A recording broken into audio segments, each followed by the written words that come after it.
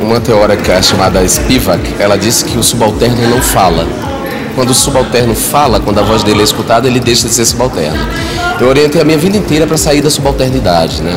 Naturalizou-se a ideia de que uma pessoa pobre, negra, é, nordestina e aí homossexual, ela não naturalizou-se a ideia de que ela é subalterna mesmo, subalterna por natureza, que ela não tem voz e que as chances dela de participar do debate são inexistentes. Isso para mim nunca foi natural. Caminho da transformação é a institucionalidade. Os movimentos ajudam, mas os movimentos precisam de representantes é, na institucionalidade para tocar as proposições legislativas. Eu achava que a minha atuação no, no movimento social bastava. Então eu acho que a grande contribuição minha como deputado é fortalecer a pauta dos direitos humanos o preconceito em relação à política é tão grande que as pessoas se afastam. E mesmo a informação para esclarecer como é o processo legislativo, elas não querem saber. Querem saber. A ideia de que o deputado não trabalha é mais forte e ponto final, né?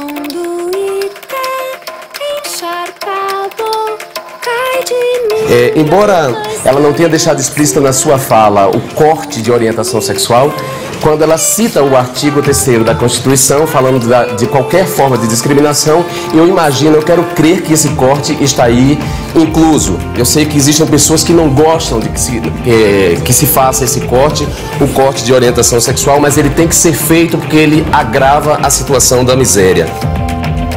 É preciso fazer justiça social. E quando eu falo em justiça social, não estou me referindo só à erradicação da miséria extrema, à redução da desigualdade social, ao bem-estar de todos do ponto de vista econômico.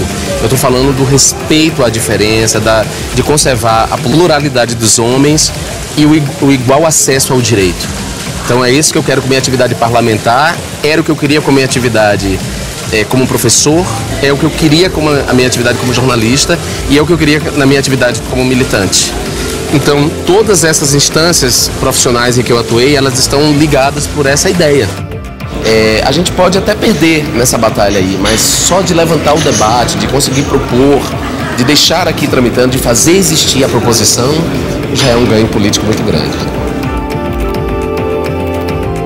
meu papel de fiscal do executivo das políticas públicas, eu vou estar de olho atencioso nessa questão, porque ela não pode ser suprimida é, em nome de preconceitos, da, da dificuldade que certos parlamentares e mesmo gestores públicos têm de tratar do tema da orientação sexual. Muito obrigado.